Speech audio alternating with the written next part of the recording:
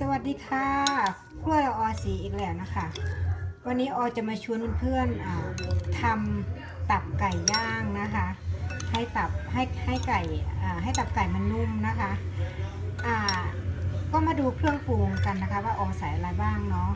อันนี้ออก็ใส่นมนะคะ ใส่นมลงไปประมาณครึ่งถ้วยตวงนะคะ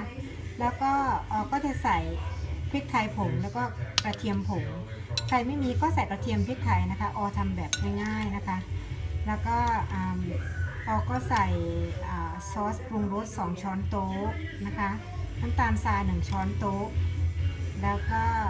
เกลือครึ่งช้อนชา ชูรสประมาณสักอ่าครึ่งช้อนชา แล้วก็รสดีครึ่งช้อนชานะคะ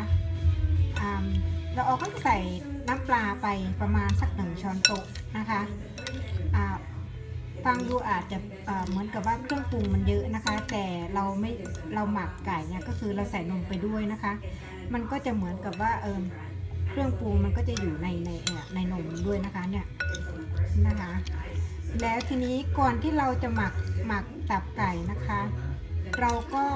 เอาตับไก่นะคะไปล้างนะคะไปล้างให้สะอาด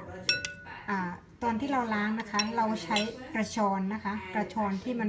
ห่างๆหน่อยไม่ไม่อย่าให้มันถี่นะคะ เอาเราล้างน้ำไม่ไม่ต้องอ่าไม่ต้องใช้ใส่ในชามก็ได้ถ้าล้างอย่างนั้น แล้วก็มันมันก็จะไม่เละนะคะ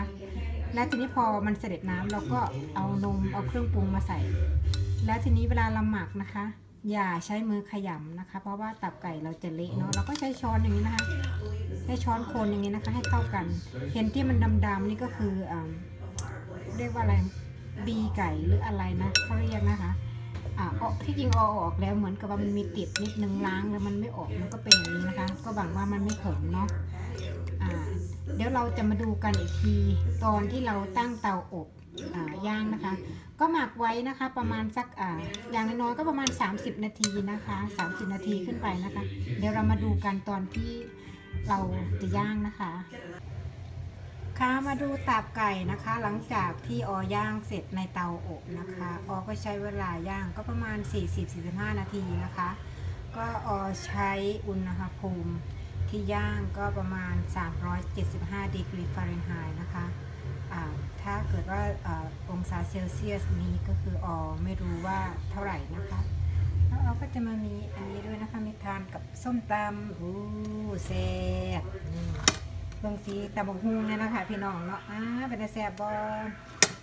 มีแบบชีล่าวน้ำมีข้าวเหนียวพอนะคะนะคะยังไงก็เดี๋ยวนะคะ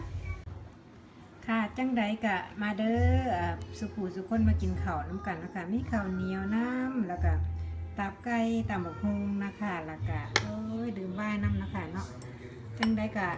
พากันลองเฮ็ดลองลองทำดูนะคะวันนี้ก็เมนูวันนี้ก็แค่นี้นะคะ ขอบคุณมากค่ะ สวัสดีค่ะ